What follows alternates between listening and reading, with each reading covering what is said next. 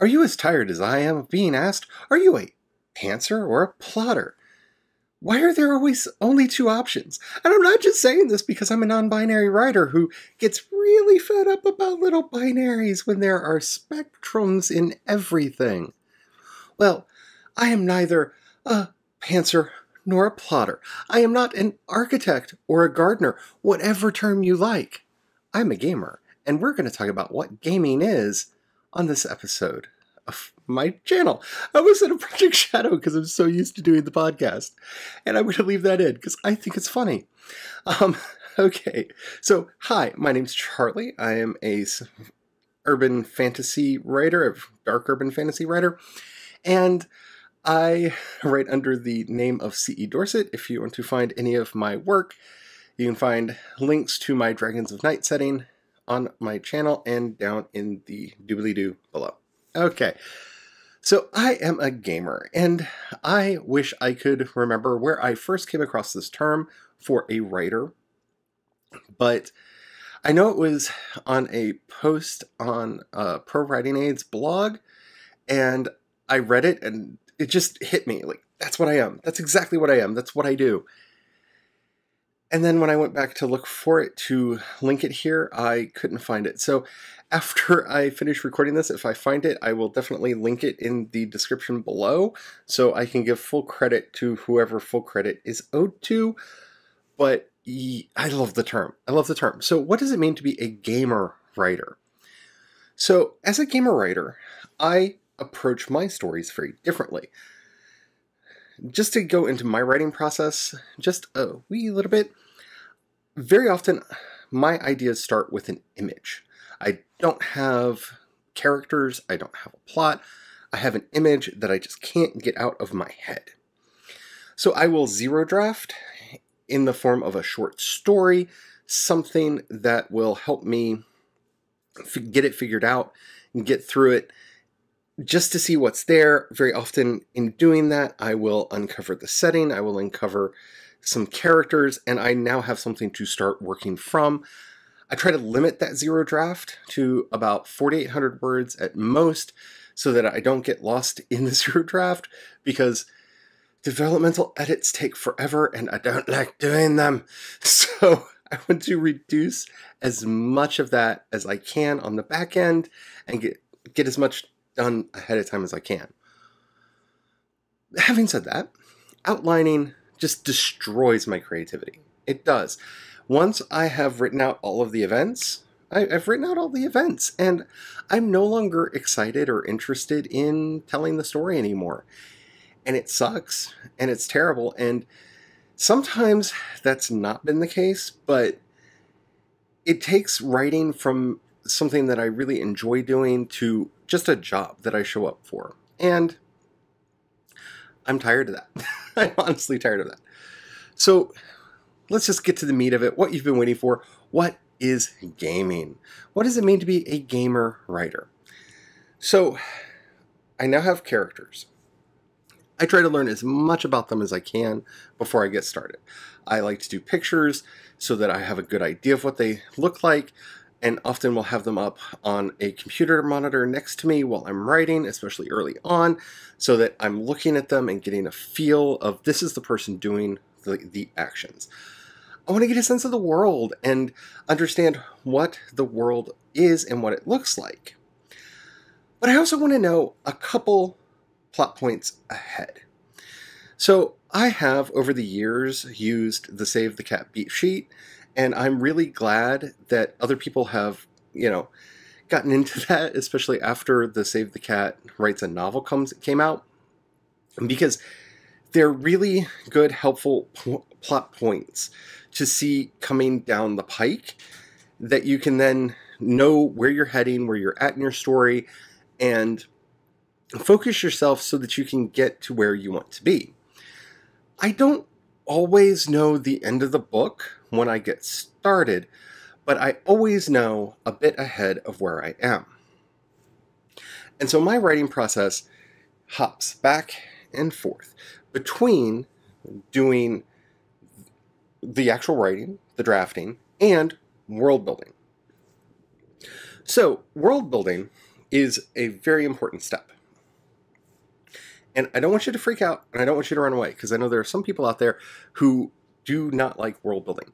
To me, world building is any work you do on knowing, say, the layout of the building the story take, takes place in, knowing who your characters are and who their family is, knowing more about the school they go to or the job that they have.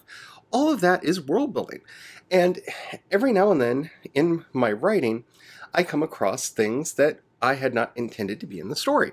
So I need to take a step back, flesh those out, and then go back. So, why is this called being a gamer writer? Because it's basically writing a tabletop role playing game for yourself. You see, I know the characters, I have some of the plot points, and I have the, a good idea of the setting. I then show up on the day, and when I do the drafting, I let it play out. I play the game to see what happens. Now, sometimes the characters make the decisions that I expect them to, Sometimes they don't. And when they don't, I have to sit back and figure out what I'm going to do about that. I also, right beside my desk, keep my all holy ruby jar that on the inside has dice. These are often used to help me get through things. One, if a date comes up, I can pull out the appropriate number of dice and roll and date. Done, dusted. Sometimes I don't know how I want an encounter to actually play out. So I like the Cypher System, which is very simple. You set a difficulty number for the task that you're doing. You roll your dice to see if you hit it, and huzzah, suddenly I have a determined result. I don't always do that. Not all of my story events are randomly dictated, but especially when I get stuck, it's a great way for me to just break through and keep going. It's been really helpful for me in keeping myself writing, keeping myself engaged, and keeping myself on track lately. And it's one of the reasons I've gotten over 3,800 words, I keep saying 100, 38,000 words written this month already. Since the first. That's a lot, especially for me. I don't usually write that fast. Now, granted, there were two 10K Sundays mixed in there, and I got words, pretty good words on both of them. Got 10, actually hit 10K on the last one. Don't know if I'm going to do any more 10K Sundays if they do them, because oh, they hit hard, but I, I'm very excited.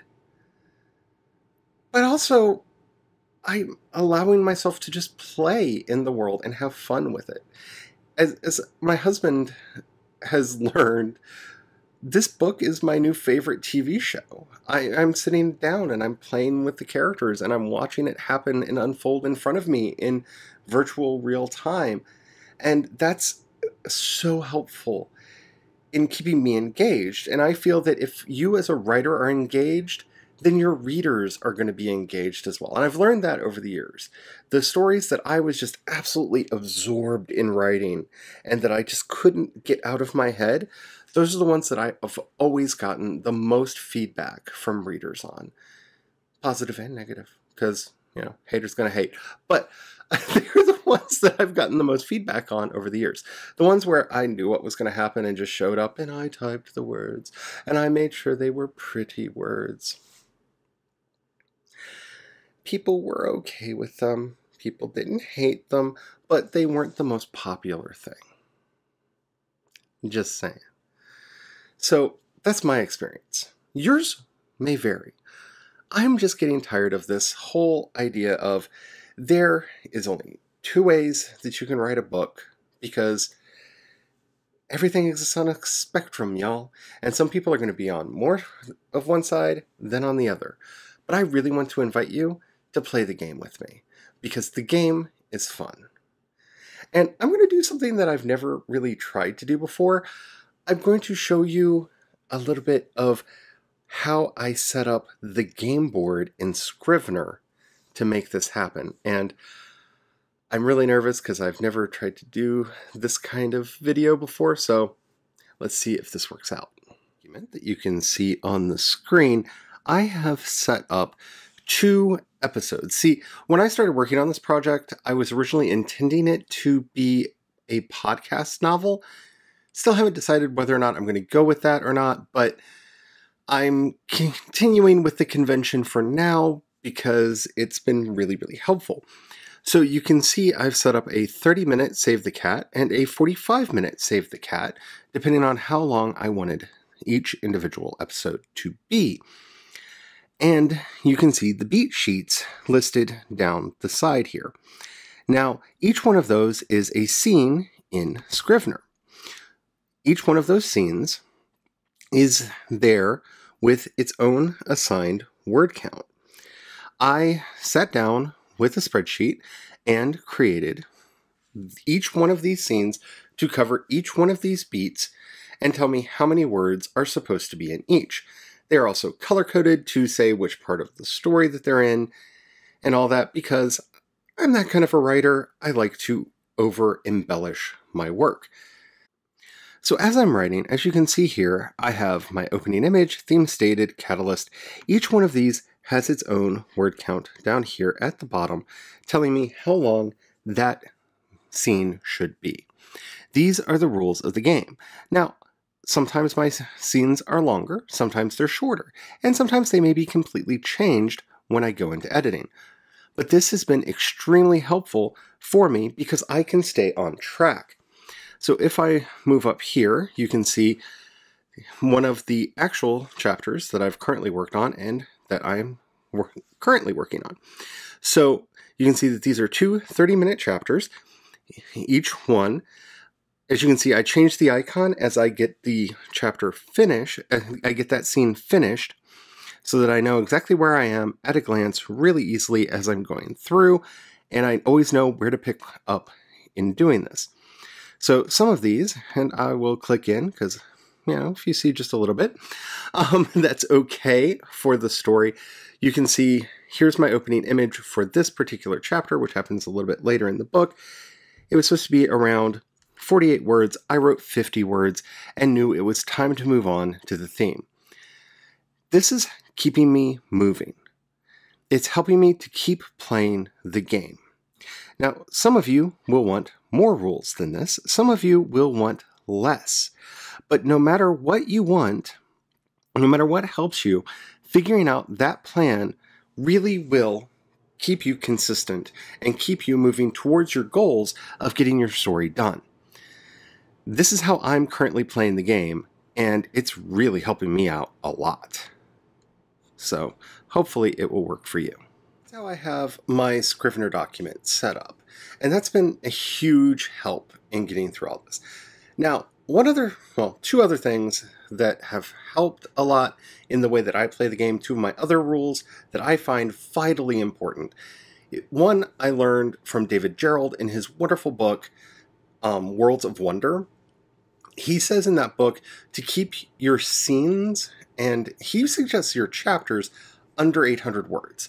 That way, you never bog down, it keeps you from doing crazy long info dumps, and it keeps the story moving.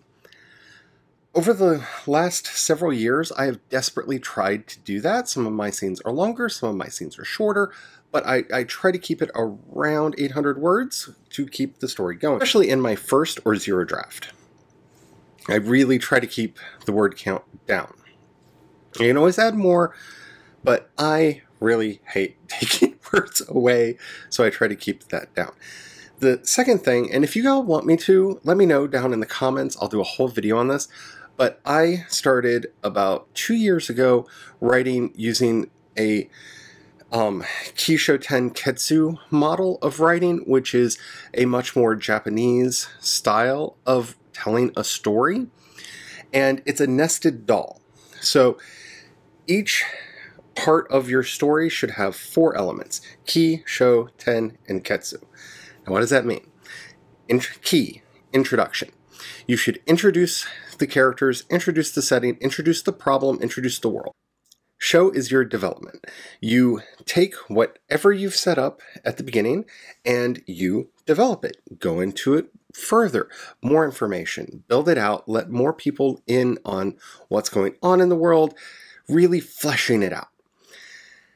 Then ten. Part 3 The Twist. Now, the twist is so vitally important to this style of storytelling. You should have a twist on the macro level of your story. So, on the big level, your story should have these four parts. But each scene in each chapter should also have these. So, as you saw with my layout there, anytime I'm heading up to the break into three, uh, that's it. I need to figure out what the twist is and make sure the twist happens there so that I can go into the following sec- section, the ketsu, the, the which is the uh, the harmony, the harmonizing of it, the bringing it all back together. So now that you've had your twist, now that your twist has happened, you have to find a way to make the it harmonize, make it make sense with what happened before, so that it's not just, oh, that came out of nowhere, and now we're going that way now. You should be doing this on the scene level. You should be doing this preferably on the page level if you're writing like that.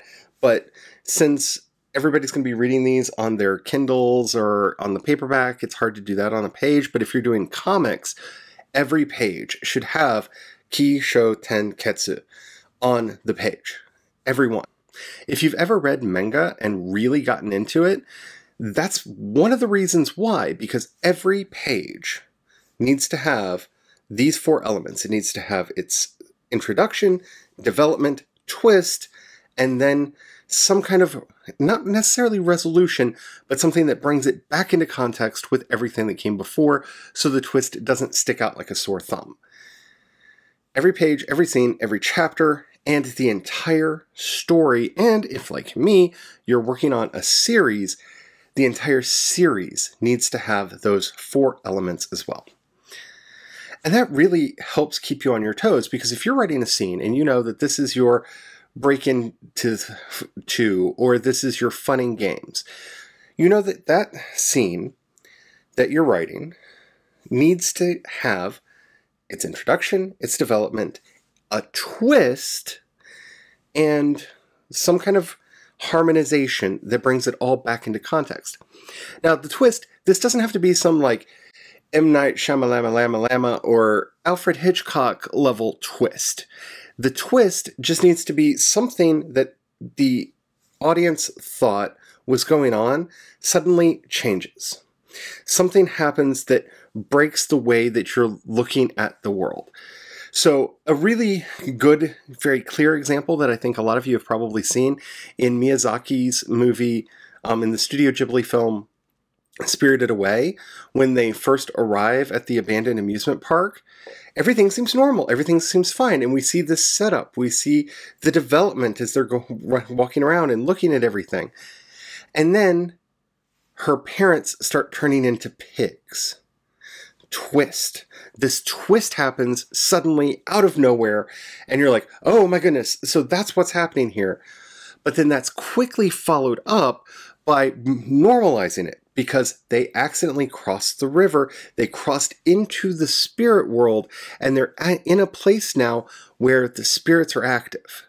So we're brought back into harmony and we continue to follow our character as we go through yet another introduction, development, and then eventually twist and bringing it all back into harmony. Over and over again, we follow this each time. When No-Face is introduced into this into the story, we see they're introduced.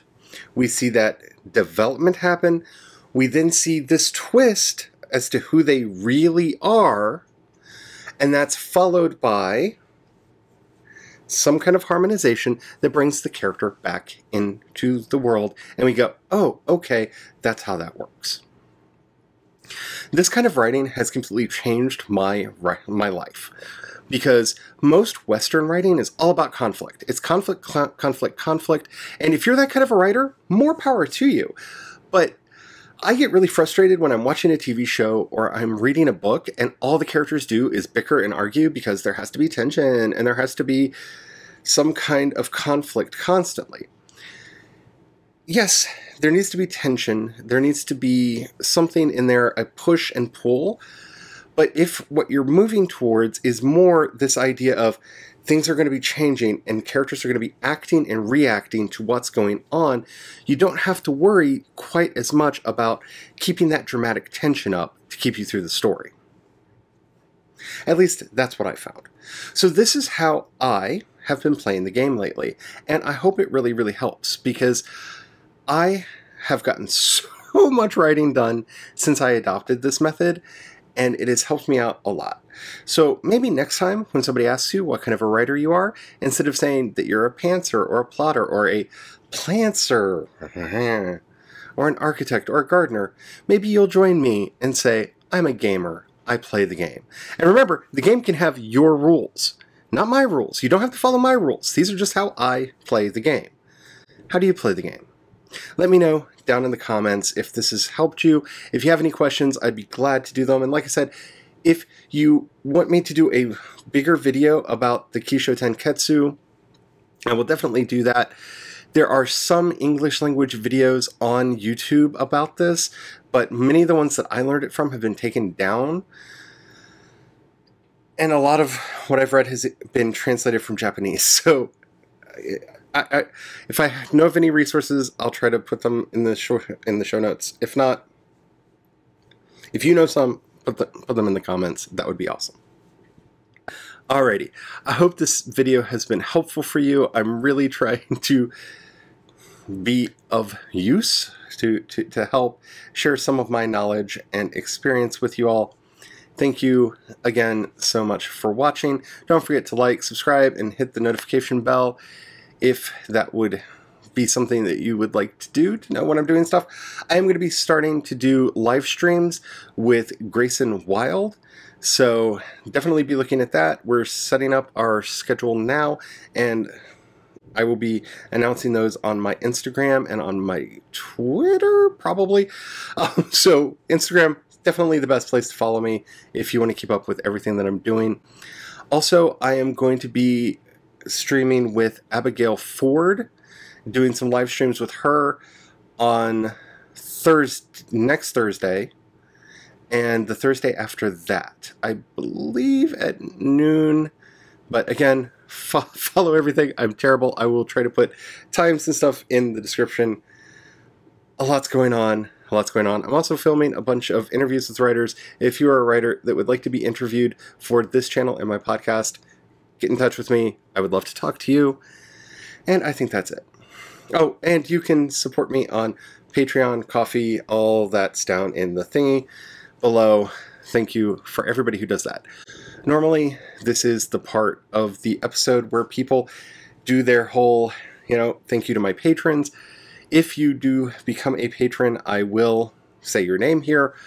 But uh, because of everything going right on right now, I feel like I need to dedicate this portion of the video to saying Black Lives Matter, Trans Black Lives Matter, and I am going to instead read more names of African American women who have died at the hands of police officers as a part of the Say Her Name movement. this is hard, and thank you for everybody who watches to the end, because we need to be telling their stories. So, Shelly Frey, Margaret Laverne Mitchell, Eleanor Bumpurs, Kathryn Johnston, Danette Daniels, Frankie Ann Perkins, Alberta Spruill, Tanisha Anderson, Michelle Cusseaux, Pearlie Golden, Shereese Francis, Kayla Moore, and Tyisha Miller. This needs to end. We need to constantly be out there doing everything that we can to end systemic racism and to bring justice into our country and into our world. So, if you don't know their stories, I and you have the fortitude to learn them, they are tragic and just horrific. But we we have to change everything. On that note, until next time, I hope you get all the words and don't forget to have the fun because even protesting and speaking out is fun.